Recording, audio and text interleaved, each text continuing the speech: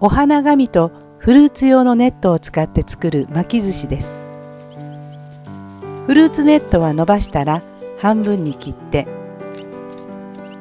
それを切り開いてください。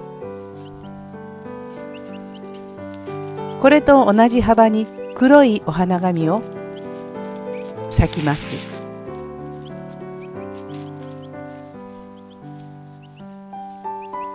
フルーツネットの上に具になるお花紙をのせていきます。この時くしゃくしゃに揉んでボリュームが出るようにしてください。具になるものをイメージしながら何色か一緒に巻き込んでいきます。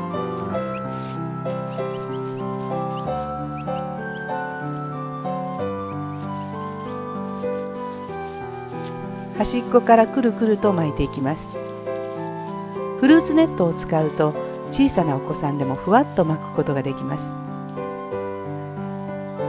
その上から黒いお花紙で巻きます。巻き終わりに糊をつけます。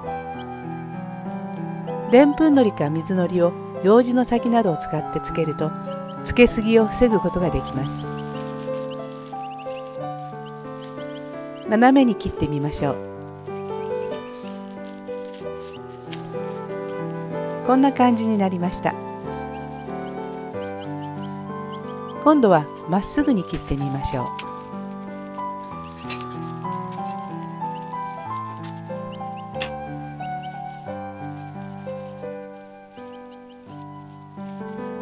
何種類か作って盛り合わせて完成です。